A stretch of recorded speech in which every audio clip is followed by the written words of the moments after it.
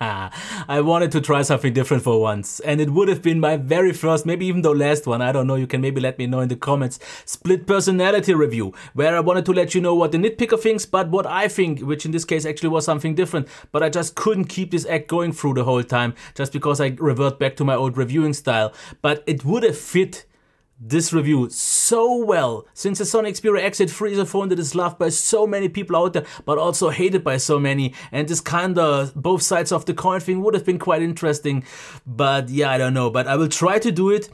But if you want some more details and more some specifics, actually watch my in-depth preview where I go into a few things that you maybe won't hear here in this review because this is more to be uh, hard contrast things of things that are good on this phone and things that I definitely get why people might hate it for. Okay, so let's get into the first thing and let's already start with the hated part being for because what I read so much about people not liking the design with these huge bezels. I mean, what the nitpicker thinks is actually that it's nice that the phone is narrow but he doesn't like the fact that this phone is so tall with a weird center of gravity and always being afraid that the phone doesn't flip over. I mean, that's not great. Also with the curve, we have some glare, even though quite not a lot of distortion, which is good to see. But then there is still the fingerprint reader and the power button that we just have to knock off half a point. Even though some might like it, and I'm personally getting kind of used to it because if I pick it up, I know where to grip it. But in most situations, what I actually do is I push at this place where I think it should be and that just swipes downwards and that usually works out very well for me. The fingerprint reader on its own is on a good level but nothing special, it works reliable enough. But it as well as the power button positions are just not what most people expect and I definitely get why they don't like it just as much as the curves and so on. But here is where I personally come in. I mean, I agree that the ergonomics are not great, but what I definitely can tell you is that the phone feels amazing in hand. And yes, it's quite heavy, but it has this luxurious premium feel. Okay, maybe the button's not so much with a little bit of a more mushy feedback. And yes, it will attract a lot of fingerprints, even though I think it's quite grippy. I like the in-hand feel. Absolutely. And the build quality is top. There is nothing really creaky. Even though I have to mention the fact that the glass doesn't seem to properly align here. It feels to lap over a bit but that's that. I'm not going over whole the, the whole rest because I've talked about that in the preview.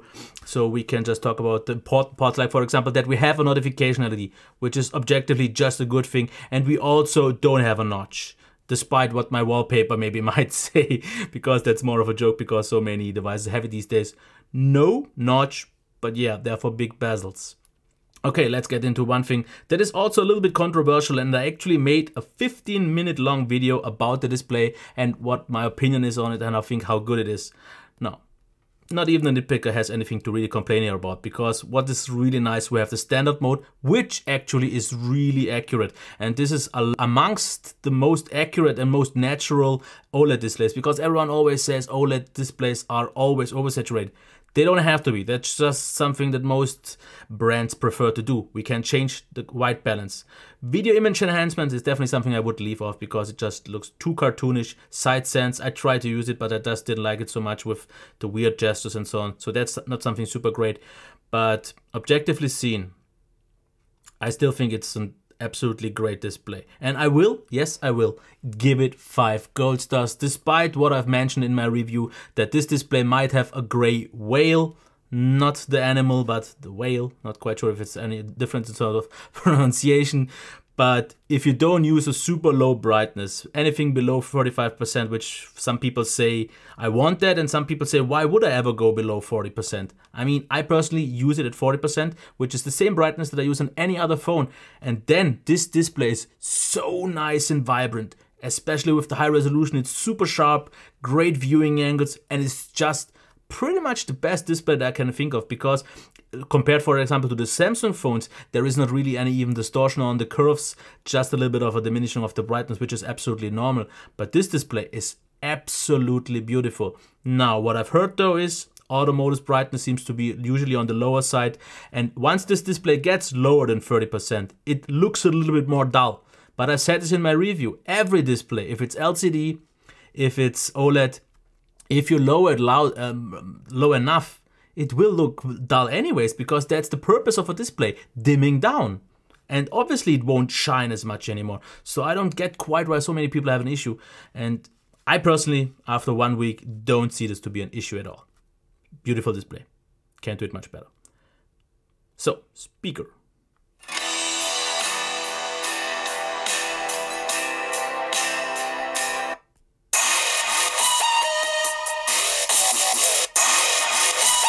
Okay, I guess the second song actually makes the nitpicker's opinion a little bit more obvious.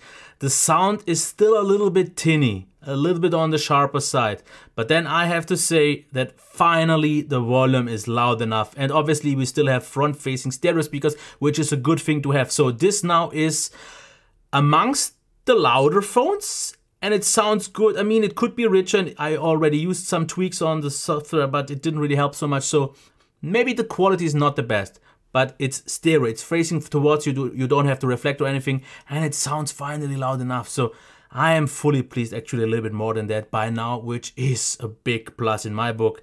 What is not though the case for the non-existent, at least not by default in the device, headphone jack. I gave the XZ2 four stars, but I will give this three and a half, even though I say I think this quality is the same. I think I just raised my standards because this headphone jack volume through the dongle is just not loud enough. I mean, quality, people always told me that that's the great thing about it. It's maybe not so super loud, but I don't even get that because the sound actually by by default with the test that I usually do sound a little bit more muffled and less detailed than some other ones, and it's just not really loud. I mean, it will be good enough for a normal, not all that really demanding in ear, but for a really good in ear, a little bit more demanding one or a headphone. I just don't think that will cut it. And actually, one commenter in my preview agreed with me 100%. Okay, performance wise, can the nitpicker complain? Well, the nitpicker could point out one thing that there is an occasional but super rare little bit of a slowdown. But that's pretty much where it ends. Because, I don't know, maybe they will have to still optimize. And as you can see, that now it actually happened on camera. That was nice to see because it really barely ever happens. And obviously it did still load the site and so on. But every now and again you see this but it doesn't change the fact that this is an 845 phone. Sony optimized very well, maybe not quite perfect just yet, but it's smooth. Multitasking works fast, it's snappy, it's responsive, it's good. Nothing else to say. I mean, I tried some overheating tests and so on, and I have to say this it will throttle in games. Like pretty much every phone will do. It's just a matter of time when which phone will do it. So this is no no worse than, no worse or better than other phones. And just keep in mind that even throttled, you should still be able to play all the games without any issues. So still a top performer, absolutely on par with the very best ones out there. No doubt about that. Battery life. Now let's get first to the charge. With the default charger, which is just one and a half amps, which is definitely something that a nitpicker can complain about. Eh, with two hours and 45, that's slow. I mean, what I personally see, which is nice to have, is an option that it charges slower, which it obviously with the slow charger will do anyways. It will uh, put less stress on the battery. And if I, for example, charge overnight, it's not an issue for me if it just takes an hour longer. But for example, someone in the comments told me it's supposed to be an emergency thing that you can top up your battery faster but you don't have the option on Sony. You don't have a charger that really charges faster in the box. You have to get it on your own. And if the person that actually commented as well told me, and that is right, that they don't use quick charge three, but they use power delivery over USB C which they actually don't even offer on own charger yet, it makes things even harder. Because I tried my power delivery charger from my laptop and it definitely charged faster. I didn't really check the time though, but that's not the way it should work because give me the option, give me a fast enough charger, and then if I want to use the option to preserve battery life and the battery a little bit put less stress on it, I charge slow, that is fine. But give me the option if I needed to charge just faster, that's just what I'm saying. Other than that, 10% of an hour of YouTube is good. I think that's definitely benefiting from the OLED display compared to the IPS in the past. The battery isn't the best one in terms of size, but I have to say it's also not actually as bad as I expected it to be. And here I have to give you two stats this time. With the always on display on intelligent active or whatever it's called, smart active or smart on, and with it being off, because that will give you an advantage or a benefit of about 30 minutes, at least about that in terms of screen on time. And this is my value about five hours, a little bit maybe over that on Wi-Fi uh, on mobile data, with about seven hours on Wi-Fi.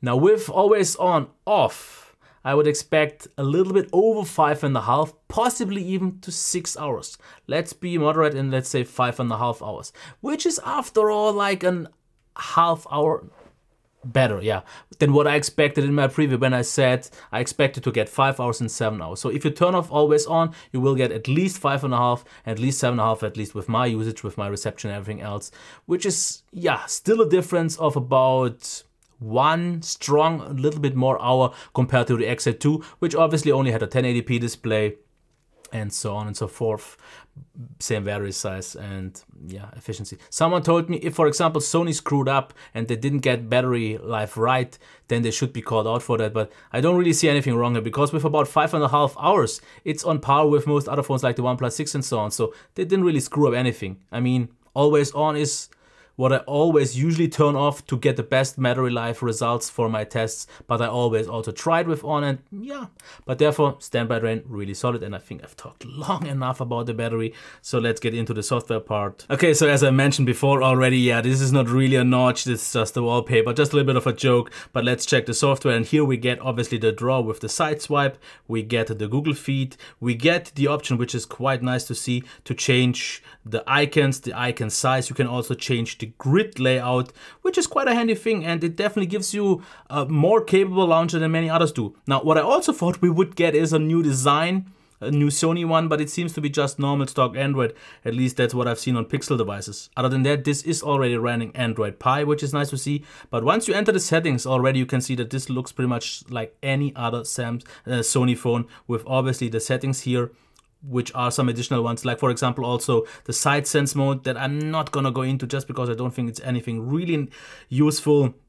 Then for example for sound which i didn't hit but this we also get some extra functionality like for example audio settings clear audio plus normalizer accessory settings and so on. And this is all nice but the nitpicker would say give me more options. Change a little bit something else but still at least definitely that is what I would say. Keep it with a stock Android experience because after all, it's still more of a themed stock Android. But a few more little settings, a little bit of some maybe useful tweaks would be nice. It doesn't have to be anything big, but that's just my opinion. But what is obviously a real benefit and advantage of Sony phones is that you get long support.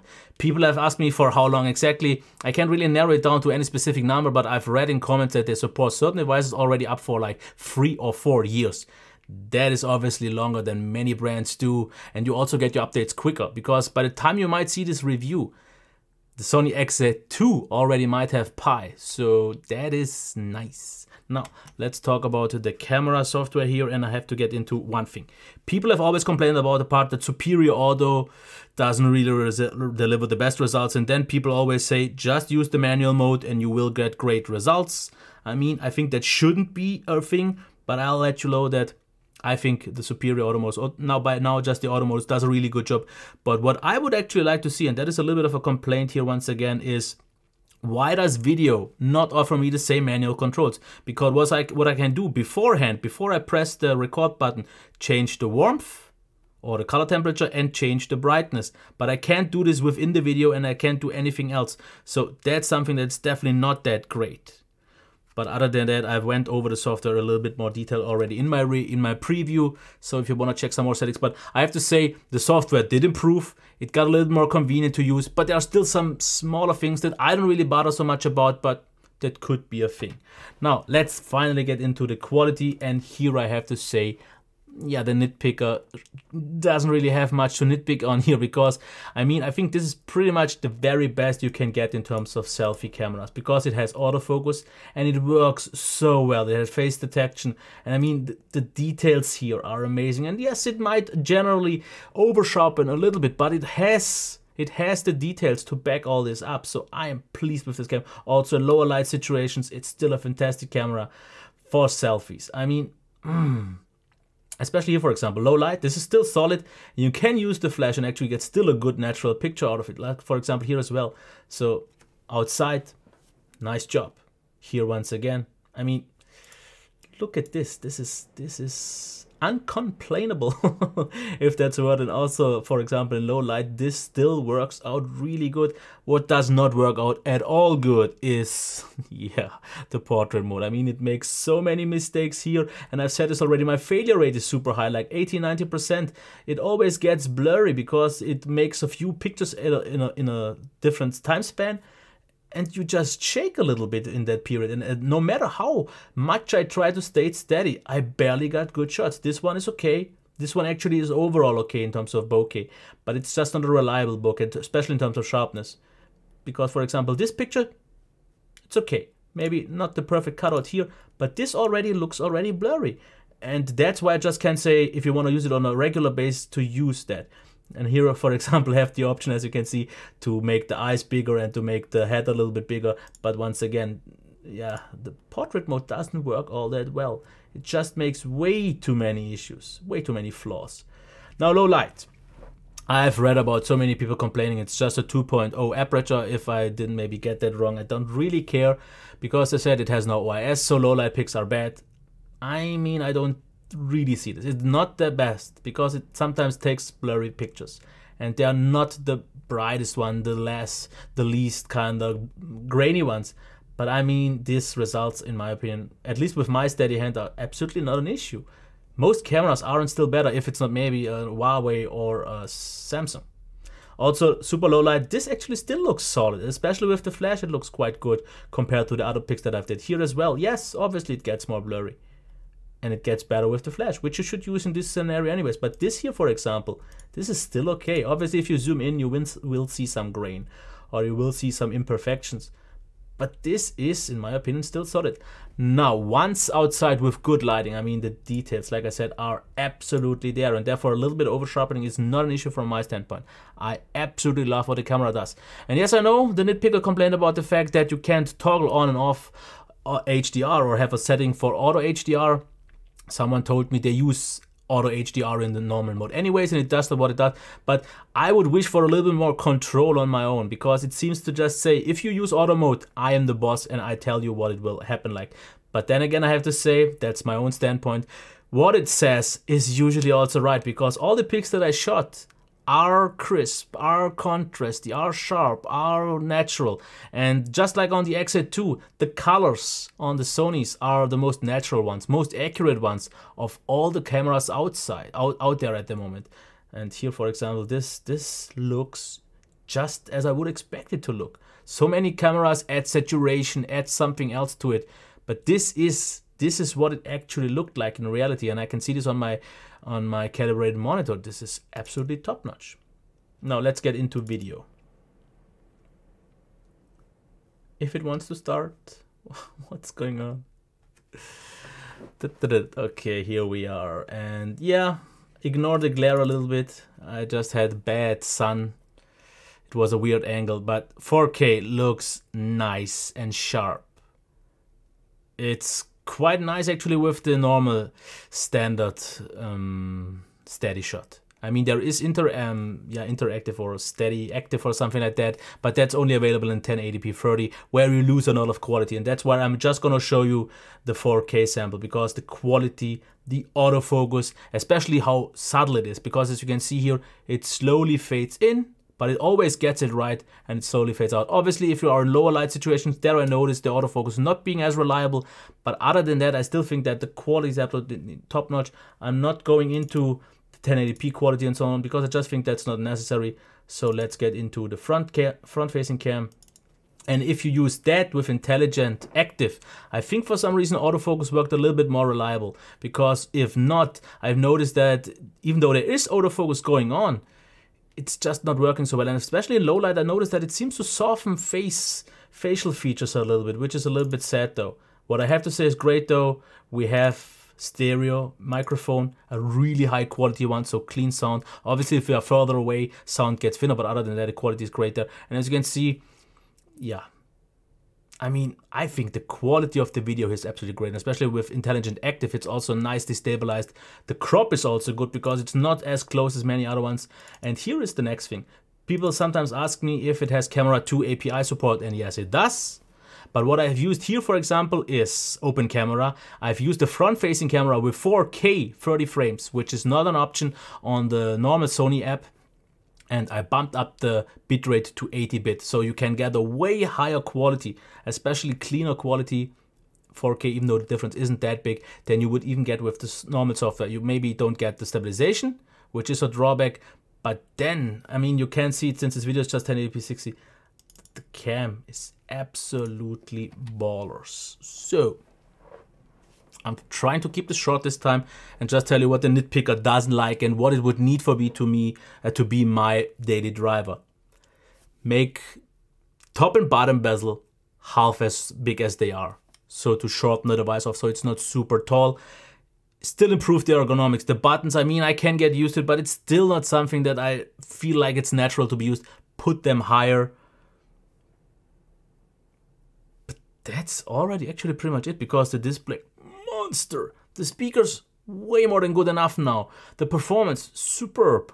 The battery life is good enough. It's still a solid four stars device. Absolutely no issue. Yeah, maybe the XZ2 got four and a half stars, but I mean an hour less you therefore get the way better display and the better speaker, but I'll get into that a little bit later on. The software now got a little bit better, but that will be the same case on the XZ2 as well. And then we have the slightly improved, but not much camera overall because it was already great on the XZ2, but the camera is super strong throughout. Now, personally, not nitpicky, the in-hand feel makes up for a lot. The display gorgeous. The speaker finally loud enough. Performance is killer. Battery life is more than easily good enough for me because whenever I get solid five hours, then I'm super happy already. And I got that on this phone and even a little bit more with always on off. Software is now a little bit better than before, but not much. And the camera is already great. Okay, what you should though think about if you like portrait mode or if you like the bokeh mode a lot, that's just not what you will get here on this phone. The front facing cam can do it, but not really good. The main cam can't do it at all anymore from what I see because the XZ2 had still this option to make it, but it didn't really actually work out that bad, but it's not really an option here anymore unless I missed it. So, should you buy it or not? I mean, 800 is still quite a lot of money. But here's the thing. Sometimes you get extras on Sony phones when you buy them. Sometimes you don't, but obviously it will get cheaper, that's for sure. And now you might ask yourself, if I have already the XZ2, or if I maybe think about getting the XZ2, what's the trade-off? What's better? What's maybe worse? Okay, here's the way I see it. It feels a little bit better than the XZ2. Ergonomics are pretty much just as bad, and yes, you have the curves now, which is a good or a bad thing, but it looks more elegant because the XZ2 had still noticeably bigger bezels. You get, even though the 1080p display, the LCD one on the XZ2 was pretty much the best one you can get out there, this, due to the high resolution, in my opinion, is even better. The speaker is noticeably better. The performance is about the same. Battery life, you will sacrifice at least one hour, if not a little bit more. Software is the same, and the camera is not quite as good, especially the front facing cam here, for some reasons, feels amazing. So that's where it stands. Now, Obviously, there is a lot of competition out there, and yes, I called this the Samsung Galaxy Note 9 without an S Pen, and people just told me that's the S9, and yeah, I kinda have to agree, but that is a phone, just because of its actually quite horrible battery life, especially on the normal S9, where this one is actually close in terms of size, I completely did not even think about, because the S9, as great as a phone is, it's battery life is just not okay because this is like two hours more here on screen on time from what I had on the S9 and maybe at least one hour more than on the S9 Plus. So for me, those two aren't an option. If I want the very best of the best, I need the Note 9, but that's noticeably bigger than. So if you want a smaller Note 9, this is still the one that I would say as the person, uh, as the real alternative. Obviously though price. 800 wherefore at least now you can get already the note 9 for 750 here sometimes. So it's actually cheaper. But therefore you get longer update support you get faster updates you get some things that are maybe better. But most cases yes the note 9 is still better. So it's not quite a note 9 with without the s pen but it's a damn well made phone. But there is room for improvement. I have to say though i like it a lot I can easily recommend it if that's a price range that you have no issues with at all. But if you have the XZ2, I don't think it makes it up for it because you you you gain some things, but that's not a huge enough upgrade. And then there are other alternatives that you can just let me know in the comments. But I'm gonna stop this now. okay, bye.